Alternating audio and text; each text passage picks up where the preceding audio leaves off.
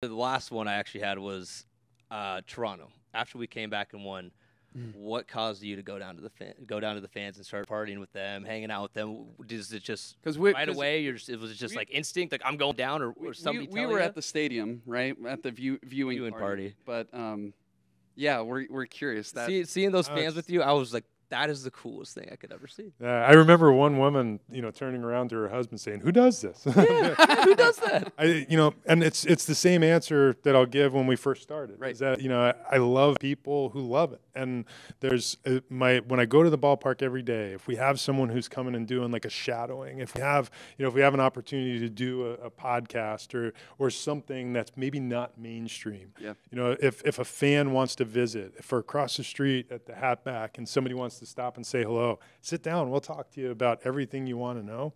It's a it's truly a fishbowl because I want the experience to be the way if I were a 14 year old kid going to the ballpark or I were a 34 year old season ticket holder, the way I would want to experience it in that moment. And Yeah.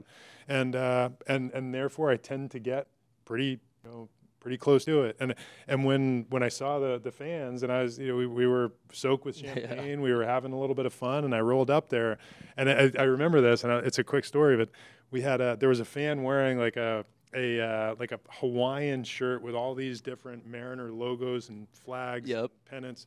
And, uh, and I said that is a sweet shirt, and uh, and he said I like yours better, and I, and I was wearing the October. You did jersey swap. Did you jersey So I just ripped the shirt off and I said, "There you go." And go. he said, he said, uh, he said, he said, "No way, this is from the clubhouse celebration." I said, "Yeah." yeah.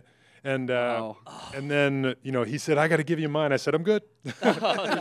and uh, you know th- we, we had some fun and, and went in, and that that fan sent me the shirt. He, he went out and had the shirt cleaned or got a new one. Oh, wow. Sent it to me to the ballpark, and it, I thought it was just the coolest thing. Yeah. And- Oh, were you were you shirtless then? After you gave him your shirt, you have an undershirt. no, on? I was still wearing the, the shirt that I, I just I, I was wearing a sweatshirt. Got it. that Okay, I had okay. uh, under it, but yeah, it was and and you know again just something that that makes it real for the fan because that the whether it's that group in Toronto or it's the fans that come out here to T-Mobile, it's it's what's happened through the years. Just Yeah. when you run into somebody on the on the street, you know, give them a reason to love it more than they do. Mm-hmm. And and and if you you know if you're being honest, how would I like to experience it?